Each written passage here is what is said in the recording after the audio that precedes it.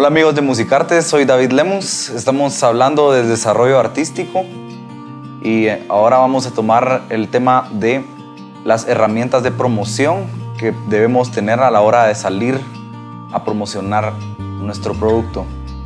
Una vez tengamos claro el concepto, la personalidad y la imagen de la banda que queremos proyectar, debemos hablar con un diseñador gráfico para desarrollar una línea gráfica.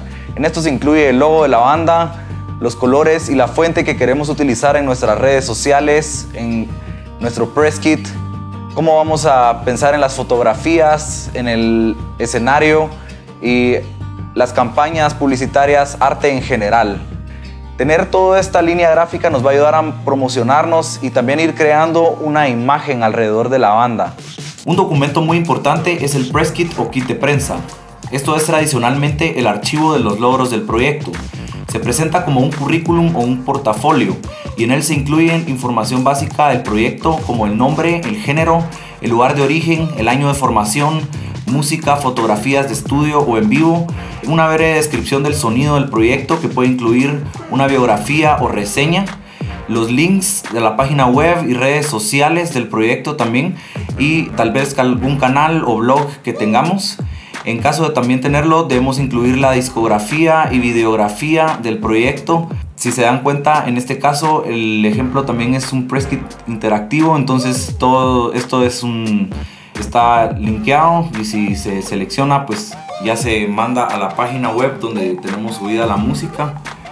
En algunos casos también vamos a poder mencionar eventos relevantes donde el proyecto se ha presentado, notas de prensa, apariciones en medios y en algún caso también será necesario agregar información de nuestro grupo objetivo de mercadeo, su rango de edad, actividades particulares del grupo objetivo y tal vez las marcas o tendencias culturales que lo caracterizan.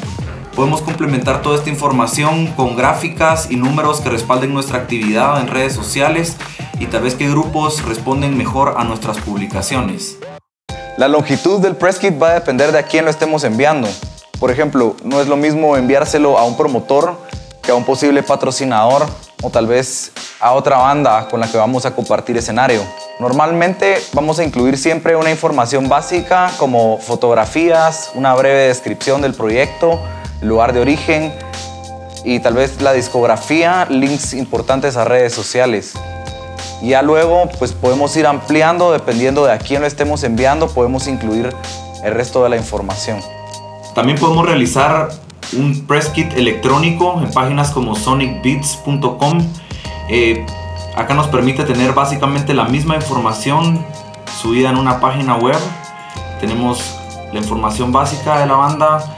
También tenemos este feed que está conectado a las actividades que tiene la banda en redes sociales. Entonces esto se actualiza automáticamente, lo cual es muy práctico.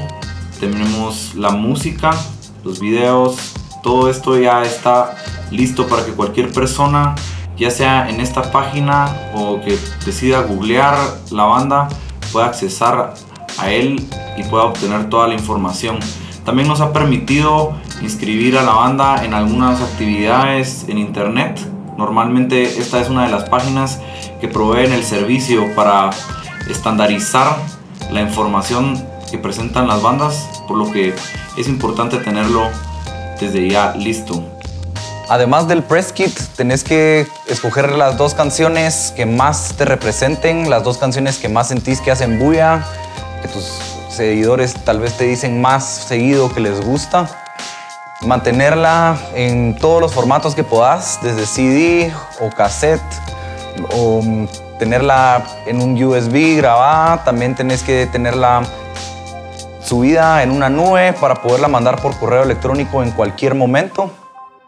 Aparte tenés que tener fotos y video en la mejor calidad posible. Eh, vas a desarrollar con tu diseñador hojas membretadas, logo en alta definición, y tenés que tener también notas de prensa disponibles en todo momento. Mi recomendación es tener todos estos documentos juntos en una nube, ya sea Dropbox, Omega o Google Drive, la que vos prefieras, y tener a todos los miembros involucrados con acceso a esta plataforma para que en el momento en que haya que mandar la información todos tengan acceso a ella. También deberían de tenerlo todos en, un, en una memoria USB para poder compartirla en cualquier momento y si es posible también tener la música en CD en caso no haya otra forma de escuchar la música. Recuérdate que se trata de tener la lista todo el tiempo, no sabemos cuándo vamos a conocer a alguien que nos puede otorgar una nueva oportunidad. En cuanto a fotos y video, son herramientas sumamente importantes, nos van a ayudar no solo a reforzar la imagen de la banda, sino a obtener menciones en otro tipo de canales y medios que nos pueden ayudar a llegar a más gente. Por lo que ponerle especial atención, hay que aliarse con gente que le apasione las fotos, que le apasione el video, que le apasione lo visual y nos pueda llevar a otro nivel.